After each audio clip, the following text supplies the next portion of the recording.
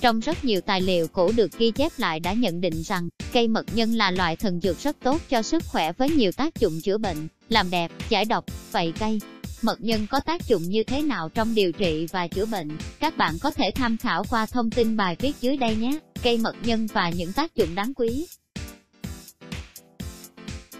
Hình ảnh cây mật nhân giới thiệu về cây mật nhân Cây mật nhân có tên khoa học, Euricau melonchipolijac. Cây thuộc họ, Cimoropaceae cây mật nhân hay còn có tên gọi khác, bách bệnh, bá bệnh, lòng bẹt, tho nang tày, mờ lụ kho cây mật nhân là loại cây bụi, thân mảnh, sinh trưởng trong rừng thấp, dễ sống trên đất sỏi ưa chua và dẫn lưu nước khá tốt. Cây mật nhân thường được phân bổ rải rác ở các tỉnh vùng núi thấp, dưới 1.000m và trung du. Ở Việt Nam, nơi dễ tìm thấy cây mật nhân là các tỉnh Tây Nguyên và miền Trung. Bộ phận sử dụng của cây mật nhân vỏ thân rễ lá đem phơi hoặc sấy khô. Xem thêm, một số hình ảnh nhận biết cây mật nhân cây mật nhân và những tác dụng đáng, quý thành phần hóa học cây mật nhân giảm lo lắng, căng thẳng, mệt mỏi trong y học cổ truyền quan niệm cây mật nhân có tính mát, vị đắng, quy vào kinh thân và can, có tác dụng trong việc bồi bổ khí huyết, giảm stress, mệt mỏi, hơn nữa, trong cây mật nhân có chứa hàm lượng anxiolytic có tác dụng rất tốt trong việc tăng cường hoạt động trí óc, giảm lo lắng.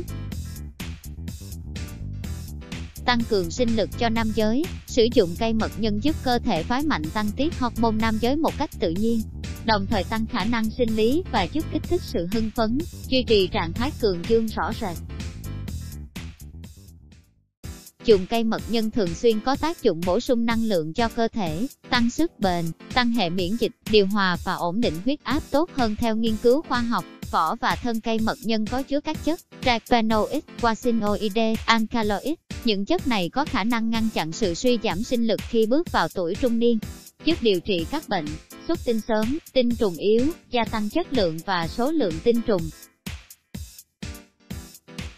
Cây mật nhân giúp tăng cường sinh lý phái mạnh trị các bệnh tiêu hóa, chán ăn, khí huyết kém theo kinh nghiệm dân gian, vỏ thân cây mật nhân có tính mát, được dùng để chữa các trường hợp ăn uống khó tiêu, đầy bụng, nôn mửa, tiêu chảy, đau dạ dày, chán ăn.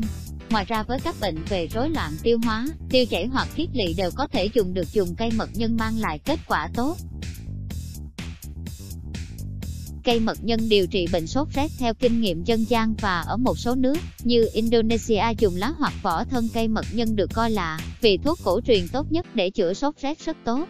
Theo nhiều nghiên cứu cho rằng, dùng cây mật nhân có hiệu lực tương đương với viên nén chloroquine trong điều trị bệnh sốt rét.